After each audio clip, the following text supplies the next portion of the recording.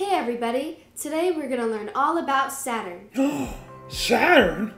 That's one of the sun's favorite planets. Why do you say that?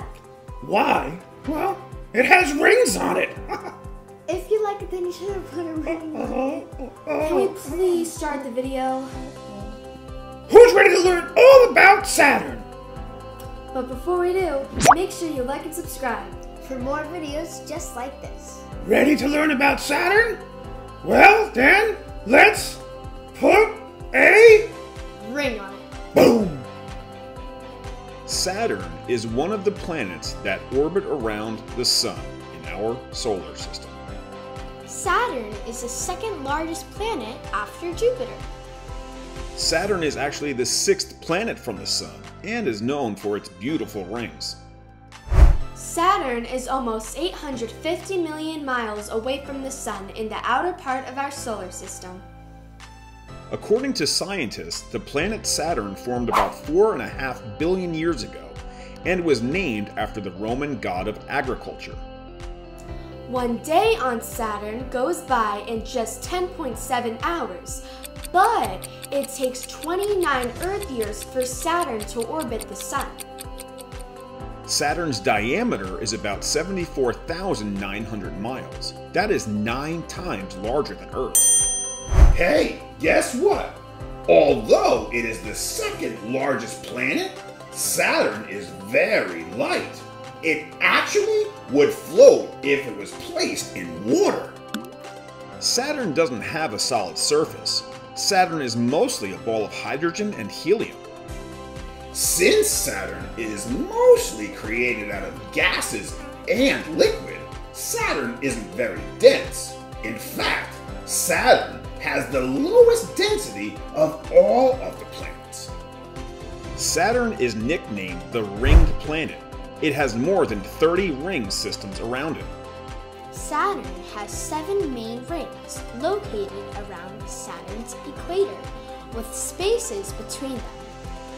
Now, Saturn isn't the only planet with rings, but it definitely has the most beautiful and visible ones. The pieces that make up the rings of Saturn range from the size of a piece of dust to as large as a house. And these pieces or particles are made of chunks of ice and rock, which may have come from old moons that used to circle Saturn, but were smashed by comets and meteorites crashing into them. The rings extend thousands of miles out from the planet and are around 66 feet thick. And they can be seen from Earth, but you need a pretty good telescope. In the 1600s, when Galileo Galilei first found Saturn through a telescope, he wasn't sure what he was seeing. At first, he thought he was looking at a planet with handles, but it was Christian Huygens who first recorded that Saturn had rings. And to this day, scientists are still not quite sure about the origins of Saturn's rings. What we do know is that there is a distance of 3,000 miles between these rings, called the Cassini division. Scientists believe that Saturn will lose its rings in about 100 million years. Hey, guess what? Did you know that at the time of this video, Saturn has 83 moons? 63 of them are already confirmed and named, but there are another 20 moons that are still waiting for their confirmation. Saturn's largest moon is Titan. Titan is the second largest moon in the solar system. Saturn's moon Enceladus is one of the most reflective objects in our solar system. Hyperion was the first moon discovered that wasn't round. At only 246 miles in diameter, Mimas is the smallest astronomical body in our solar system. Mimas is known to have a round shape because of its own gravity. Do you like pasta? Oh, we're gonna eat something? I'm hungry. Well, hey, guess what? Saturn's moon, Pan, looks like the shape of ravioli.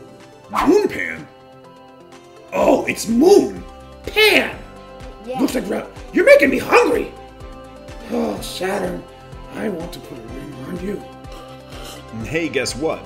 The temperature on Saturn averages around negative 285 degrees Fahrenheit.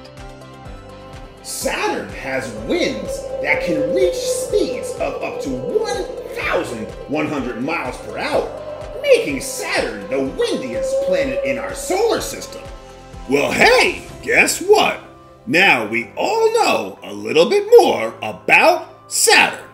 Thanks for watching, and don't forget to smash that thumbs up button. It really helps out our channel. It sure does. Make sure to subscribe. Bye.